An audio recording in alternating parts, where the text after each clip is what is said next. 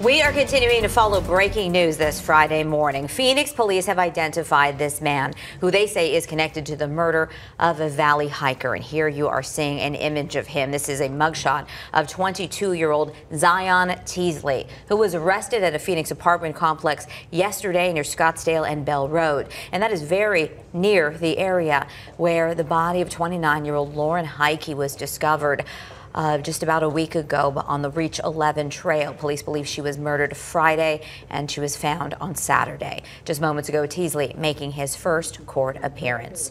And Teasley, yeah, Teasley is facing charges of first degree murder. We can see him there making his first court appearance uh, within the last uh, half hour.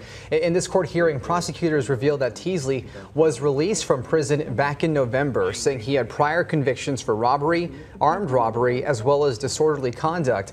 Now, pr prosecutors say there was evidence of premeditated murder in this case here. Investigators also found Teasley had a plane ticket for Detroit and he was set to leave last night. And because of all these circumstances and being a flight risk, the judge has ruled that Teasley will be held without bail. Of course, more details are coming into our newsroom. We are sifting through uh, his history and prior incidents. Uh, we're going to get you the very latest as soon as we can get them on air and online, as well as our news app at azfamily.com.